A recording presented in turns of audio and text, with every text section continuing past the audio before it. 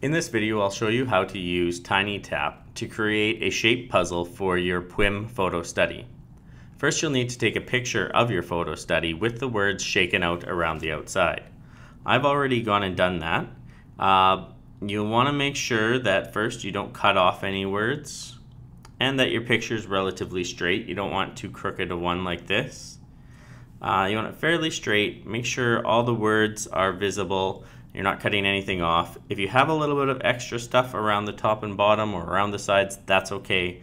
Uh, we can deal with that later, but make sure when you take the picture that you include everything and that it's relatively straight. Once you've taken your picture, you're going to open up the TinyTap app.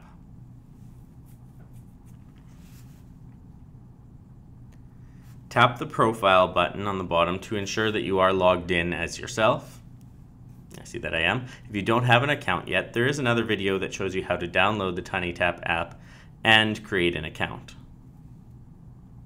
Once you know that you are logged in, tap the Create button on the bottom. You may have a few screens here, a few pictures in the center.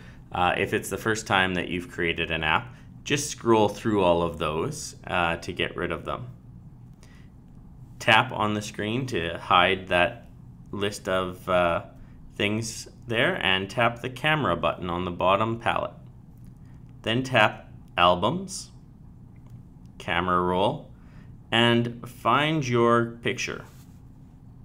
Tap on it. Once it's in there, click Cancel.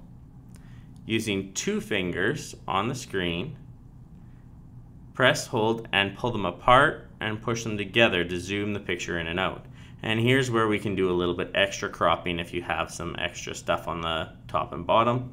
What you want to do is try and line it up so that inside of that dotted line, all your words fit. There we go. When you're done that, tap Add Activity, and then Next.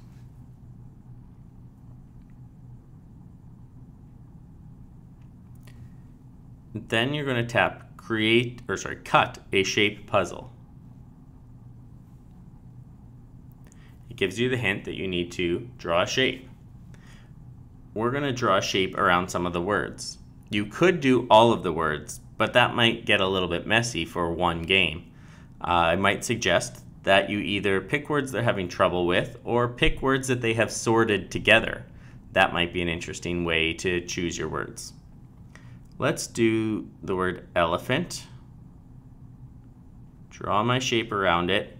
And I'm, it's okay. It make, I made sure that I fit everything in there, the entire word. Uh, it's maybe a little bit big, but I think it'll be okay the way it is. Then I'm going to tap the plus sign, and it cuts out that word elephant. And I can move that part, that little shape, anywhere on the screen. There's also a little green pencil. It's a little difficult to see it in the video, but it's right in the top right corner. I'm going to tap that, and a dialog box comes up asking me to record. I'm going to tap the record button, say the word, and then tap the stop button. Elephant. And now I can cut out my next one. If I want to hear what it sounds like, I tap the pencil again, press the play button. Elephant. Sounds good to me, so I'm good to go. I'll tap the screen to get rid of that, and I can cut the next word out. Maybe I'll do walking.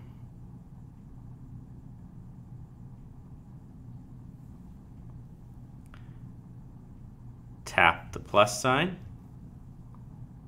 the edit, and record the sound. Walking. Move that one out of the way, and maybe I'll do calf as well.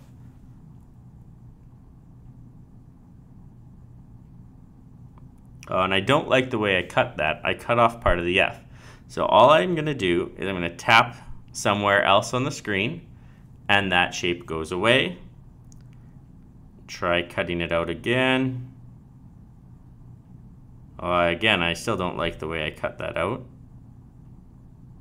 Let's see, there we go, third time's the charm. tap the plus sign, tap the green pencil, record to start recording, calf, stop to stop recording, and then I'm going to rearrange these somewhere on the screen so it's not obvious which one goes where. You might want to do more than three. Three is a pretty small number, but you, of course, you wouldn't want to do all of your words. Once you're done cutting out the ones that you want to use, tap the Done button. And then tap the Done button again. This brings up the screen for naming it and adding a description. I'm going to add the name elephants puzzle one because I might do several shape puzzles with this photo uh, and different groups of words. In the description, uh, you don't have to put anything, but I'm going to put the words that I sorted uh, or that I cut out. So that was elephant, calf, and walking. And that'll just help you as a teacher uh, when you're looking at this game uh, and trying to figure out once you have five or six elephant puzzle games made, which one you want to use with a group of uh, students uh, that are having particular trouble. This is a great reason why you should use your word sorts uh, to choose the words that you're cutting out in each puzzle, because that way, when you do your assessment, you realize that uh, certain kids are having trouble with certain words. You can go to the correct puzzle for those that small group of students. Uh, you might also want to categorize it as language, age. Now remember, this is age, not grade. Uh, so you'll pick an age approximately equal to your grade level. Uh, and here, the little globe icon refers to public or private. If you tap the globe, it should give you a little description there. It says, leave this switch on to share your app with the TinyTap community. Turn it off to keep it private. So if this is an app that you don't want anyone else to see, slide that switch to off. I would suggest any app that you are creating or any game that you are creating that has a picture of a student in it, you probably definitely want to keep that one private. But in this case, I think it would be great to have it public. Um, that way you're also able to share it with parents, which I will show you how to do in another video. The edit, or the little pencil icon, is whether or not other people can edit your app or your game. Uh, as far as I'm concerned, someone wants to edit this, they're more than welcome to. They may even uh, add another word uh, that, to the puzzle. Once I'm done entering everything, I hit Save Game. And the little grown-ups icon comes up, and I have to touch the circle and hold until it goes away. Packs it all up, saves it. And now I can play it. Now, if I just tap a shape, nothing happens. But if I tap and move it a little bit, elephant, it reads the word. And now, as a student, I go, ah, that goes up there. calf, Uh, if I try and put it down here, first of all, I will see that it doesn't fit. Uh, but also, um, the game shakes it and says, no, that's not where it goes. calf, Move it up to there. walking, When I'm all done, I get the little ding.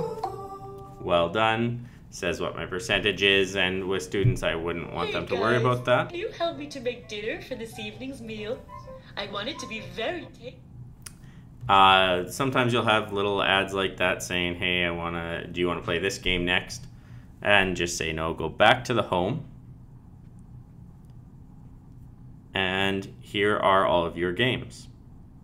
When you first open up the TinyTap app in the future, you'll come to the Discovery page. That's here, and when you click Tap, or sorry, when you click Play, you'll have all of your games. There may be some extra games that TinyTap has added in here. If you don't want students to see those, simply tap the pencil and tap the red X beside the games you want to delete. And that's creating a shape puzzle out of your photo study.